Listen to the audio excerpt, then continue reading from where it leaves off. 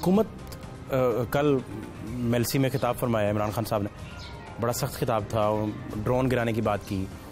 फिर उन्होंने कहा कि अगर ये अदम नाकाम हो गई तो फिर देखें मैं आपका क्या करता हूँ। अच्छा फिर उन्होंने यूरोपीय यूनियन, यूरोप, उनको ललकारा। अब अवामनास से आप पूछें तो वो कहते हैं, खान साहब को जो है वो एब्सोल्युटली नॉट कहने की सज़ा मिल रही है। अब इस सारे सनारियों में आपका क्या तजिया तबसरा है कि ये क्या हुआ क्या? फिर फिर इंटरनेशनल डांडे हैं को मसाइल हैं क्योंकि जिससे भी बात करें वो कहते हैं एब्सोल्युटली नॉट के बाद ये सारे मसाइल पैदा हुए। नहीं ऐसे नहीं है। एब्सोल्युटली नॉट के बाद या कुछ और कहने के बाद ऐसे स्टेट क्राफ्ट ऐसे नहीं होता Fahad. State to state relations जो होती हैं वो एक लीडर के कुछ कहने के के के, ऊपर मुनसर नहीं होती। हमारे जो बैन अवी ताकतों के साथ पाकिस्तान की रियासत के जो ताने बाने हैं, वो तिहत्तर चौहत्तर साल पुराने हैं। वो ऐसे एक लफ्ज़ इधर फेंक दिया, एक जुमला इधर कस दिया, उससे वो नहीं हिलते। उनकी जो बुनियादें होती हैं, वो मंतक पे पेस्ट होती हैं। इस सारी चीज़ में एक मंतक है। जो फेलियर है ना, वो हुकूमत का अपना है। जो नाअहली है, वो हुकूमत की अपनी है। जो ये चल नहीं सके ये अपनी नाअहली की वजह से है। और इसका इंटरनेशनल कम्युनिटी के साथ कोई ख़ास ताल्लुक़ नहीं है, वो आगे जाके बातें आया हो जाएँगी। लेकिन यहाँ पर आपने क्योंकि ये मिसाल दी तो मैं एक बात ज़रूर कहूँगी कि मैंने मोहतरमा बेनज़ीर भुट्टो शहीद को बहुत करीब से देखा है। मैंने मियाँ नवाज़ शरीफ साहब को भी करीब से देखा है। मैंने देखा है कि उन्होंने वजारत उज़मा को किस तरह उन्होंने सर अंजाम दिया, उसके फ़रज़ को।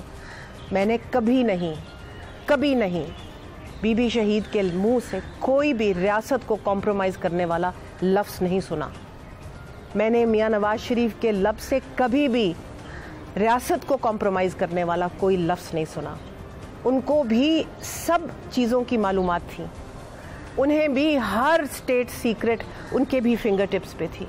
उनको भी सब कुछ मालूम पब्लिक नहीं करते थे वो? दो दो तीन तीन दफ़ा वजारत उज़मा पे बैठ के मुसीबतें झल के एग्ज़ाइल बर्दाश्त करके, जेलें काट के बीबी ने शहीद हो गई।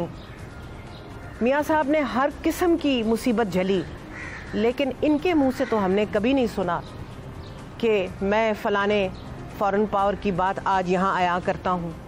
मैं ये बात यहाँ करती हूँ। कभी ऐसे नहीं होता। They were responsible representative of the government of Pakistan of the people of Pakistan ये चीज़ें आपकी जो इमेच्योरिटी है और जो आपका जहनी जो जो जो एक आप मैं तो कहूँगी जहनी खला ही होती है ना, जो जहन में खला है या जहन में जो एक फतूर है, उसको अयां करती हैं कि आप कितने इमेच्योर हैं, कि आप जाके स्टेट टू स्टेट जो बातें हैं वो जाके आप एक पोडियम पे अवामनास के जलसे में कर करते इसके साथ तो मैं समझती हूँ कि अगर इदारों का कोई भी थोड़ा सा भरोसा इन पर रह गया था तो वो आप उठ जाना चाहिए। आप ज़ाती हैसियत में अभी नेक्स्ट इलेक्शन जब भी आए कब वैसे इलेक्शन देख रही हैं आप? मैं इलेक्शन 2022 में देख रही हूँ। जी। ये इलेक्शन का साल है? मुझे तो लगता है हो सकता है मैं गलत हूँ लेकिन जो मेरा अंदाज़ा है वो यही कहता है। तीन महीने तो गुजर गए कब इलेक्शन किसी भी तो मतलब अगस्त सितंबर अक्टूबर नवंबर कहीं भी देख सकती हैं? मैं जैसे मैंने आपको अर्ज़ की हम देखेंगे। आप ज़ाती हैसियत में इलेक्शन लड़ेंगी नेक्स्ट चूँकि जो आपकी बातों का तासर मिला आ, वो आप नवाशी साहब की एडमायर भी हैं फैक्ट्स बेस पे जो आपके पास फैक्ट्स हैं अवेलेबल फैक्ट्स जो आपके पास हैं। बीबी साहिबा की एडमायर भी हैं आप उनकी उनके साथ आपने टाइम भी बड़ा गुजारा। अच्छा आपका बड़ा बड़ा अच्छा ताल्लुक था वर्किंग रिलेशन भी थे। तो पार्टी कोई आप कमिंग अपकमिंग इलेक्शन में जैसे आप फरमा रही हैं कि बाईस में इलेक्शन होने वाला है ये साल इलेक्शन का है तो पार्टी टिकट पे जाएँगी या आज़ाद हैसियत में जाएँगी? अगर अल्लाह ने ज़िंदगी दी तो इन ताला इलेक्शन लड़ेंगे और मुझे उम्मीद है कि इन पार्टी टिकट पे ही लड़ेंगे। पार्टी टिकट पे लड़ेंगे? इनशाला इनशाला ये फैसला हो चुका?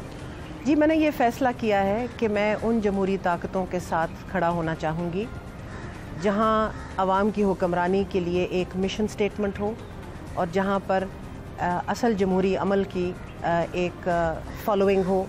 और क्योंकि मेरी सारी ज़िंदगी की स्ट्रगल जो रही है और मेरे शोहर नजम सेठी की, जो हमने मिल के की है पिछले तीस साल, वो यही रही है फ्रीडम ऑफ़ एक्सप्रेशन की लिए जद्दोजहद राइट्स के लिए जद्दोजहद जमहूरीत के लिए जद्दोजहद more and more open society के लिए जद्दोजहद और एक प्रॉस्परस यानी कि जो मीशत का पहिया भी चलता हो जहाँ पर और जहाँ पर इदारे जो हैं वो अपनी अपनी जगह रह के काम करें डेवलप करें।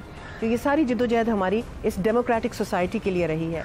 और जो पार्टी मैं समझती हूँ कि सबसे ज़्यादा आज आवाम की हुक्मरानी की पासदारी कर रही है उसी में खड़े होके शाना बशाना ये स्ट्रगल करनी चाहिए। वो कौन सी पार्टी है? बिलावल बड़े पॉपुलर हैं आजकल। बिल्कुल बिलावल भी पॉपुलर है मियाँ नवाज़ शरीफ सबसे पॉपुलर है। सबसे पॉपुलर तो, इसका मतलब आप नून में जा रही हैं। वो तो मैं आपको बताऊँगी इनशाला जब वक्त आएगा। बल्कि मैं आपको साथ लेके जाऊँगी जहाँ पर भी मैं जाऊँगी इनशाला मैं आपको उस वक्त मद्दू करूँगी। आप अपने कैमरे लेके आइएगा हमारे साथ। Thank you so much Fahad बहुत शुक्रिया। Thank you so much